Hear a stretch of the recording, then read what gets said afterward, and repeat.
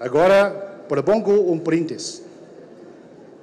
Por el 70 aniversário da fundação da República Popular China, por la amistad y la cooperación entre China y México, por la prosperidad de China y México y la felicidad de sus pueblos, por la paz duradera y la prosperidad del mundo. Salud. Salud. La Embajada de China en México ofreció una recepción para conmemorar el 70 aniversario de la fundación de la República Popular China. Durante el evento, donde también se llevó a cabo la asunción de cargo del nuevo embajador Su Xiao, el funcionario destacó la relación histórica que existe entre México y China, desde el siglo XVI hasta el comercio bilateral actual.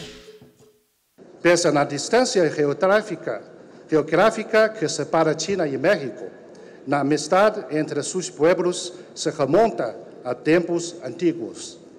En el siglo XVI, na da China deu início ao intercâmbio comercial entre as duas partes e o contato entre sua gente. Na lenda da China poblana é ampliamente conhecida entre os mexicanos. E na década dos 70 do século passado, México apoiou a China a recuperar seu legítimo puesto na Organização das Nações Unidas. Se convirtió además em um dos primeiros países latino-americanos que estabeleceram relações diplomáticas com a nova China. Ao longo de 47 anos, os laços bilaterais avançam sem contratiempos. Llegando a una nueva altura desde el establecimiento de la Asociación Estratégica Integral China-México. El funcionario resaltó que las dos naciones comparten situaciones históricas parecidas y que China seguirá trabajando en los vínculos con México. China y México son grandes países en desarrollo, contando con experiencias históricas parecidas y mismas demandas de.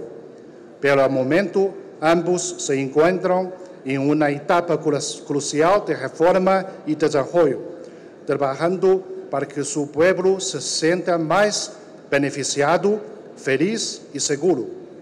A sus vínculos con México, trabajará con México para fomentar y el, y el diálogo en todos los niveles profundizará la cooperación mutuamente beneficiosa en los aspectos de política, comercio, inversión, finanzas, agricultura, turismo, innovación científica, educación y cultura para que logren resultados concretos en beneficio de sus pueblos.